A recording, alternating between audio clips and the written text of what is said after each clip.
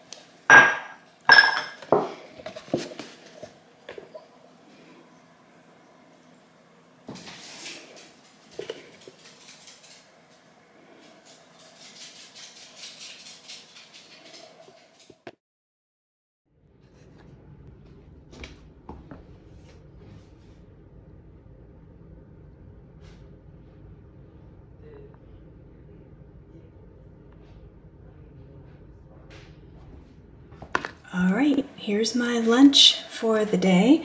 It comes from the Forks Over Knives cookbook, and it is the layered Tex-Mex lasagna. It says serve six to eight. We got eight servings out of it. So it has corn tortillas, I used a mix of black beans, pinto beans. It has corn, black olives, green onions, a bunch of spices. And then on the side is 15 grams of real sour cream. I pretty much only like real sour cream. So the lasagna slice is three points because of the tortillas. And that sour cream is one. So this is my four point lunch.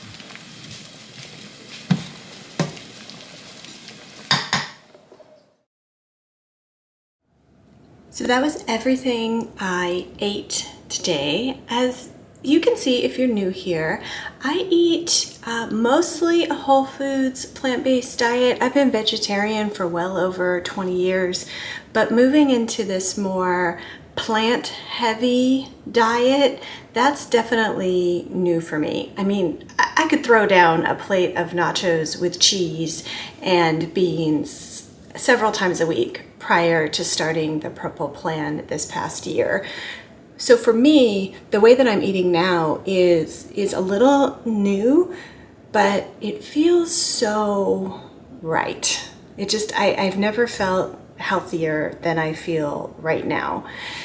So before I go down that road, let me uh, tell you about weigh-in day. So today is Wednesday. I weigh in on Wednesdays, and um, I am thrilled. That's the third week in a row of a big loss for me.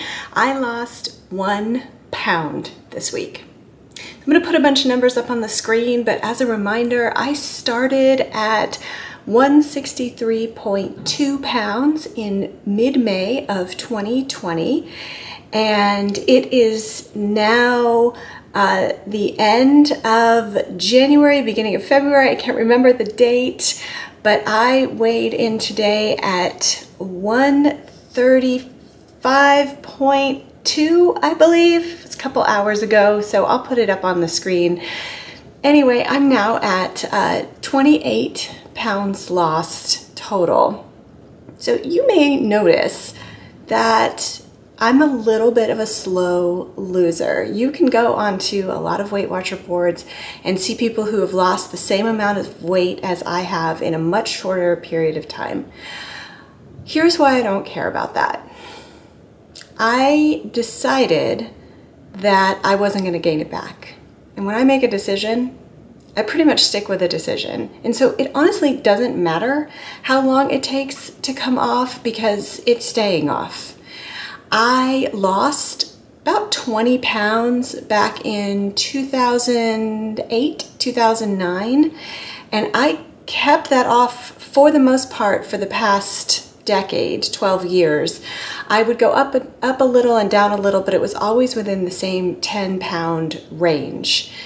So when I say I keep things off, I know how to keep things off. And so this is going to be forever. So it doesn't really matter. It's nice to have big losses, but it it's okay to have small ones as well. If you are interested in what I think realistic weight loss looks like, I will link a video in the description box below about uh, what I think is realistic weight loss, and it's going to show you every single weigh-in I have had since mid-May of 2020. So you can see I'm losing rapidly right now, but it took me seven months to lose 10 pounds. So I think a couple of things are happening right now. I mentioned a couple of weeks ago that I have a friend who made a commitment to her health at the beginning of the calendar year, and we're doing something called the 50-50 plan, a little bit modified, but trying our best to stay on it. So that's when you build a plate, 50% of it is a starch, so potato, brown rice, whole wheat pasta, something like that. And then the other 50% is a non-starchy vegetable. But essentially what you're doing is you're filling up on non-starchy veggies, which is um, not my default. I love starches. I love potatoes and brown rice, I, that sort of thing.